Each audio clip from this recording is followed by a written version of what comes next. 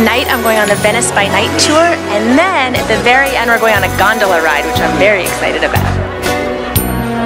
He's taking us through all these little alleyways and kind of through the back streets of Venice, and um, this actually where not a lot of tourists come, so it's kind of a special little tour for us.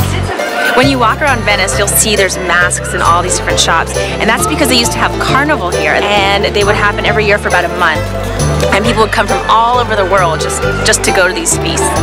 This is one of the best examples of Venetian architecture, and it's considered the Sistine Chapel of Venice because all the artwork inside is created by one single artist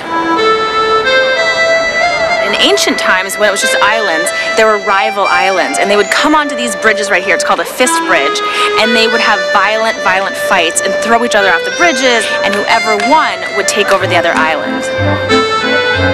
Now for the thing I've most been looking forward to, the gondola ride.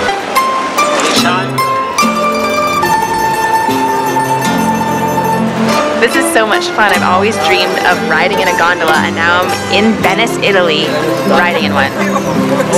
These gondolas cost a lot. They're about the price of a really expensive car and that's because they're all handmade and they're all built to fit the gondolier.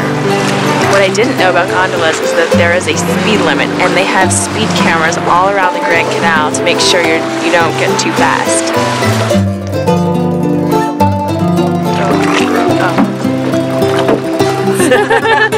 You've done this before. he almost hit the side, but he didn't. It takes a lot of talent to be able to maneuver these boats through these tiny little canals. I'm not sure quite how he's doing it. Sometimes he puts his feet on the wall and pushes us away. Sometimes he has to duck his head through the really tiny bridge. It's pretty impressive.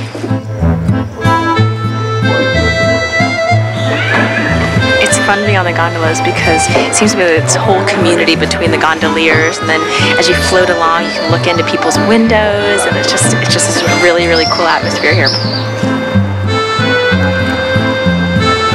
There's only one word for that. Amazing. I'm definitely coming back on the gondola.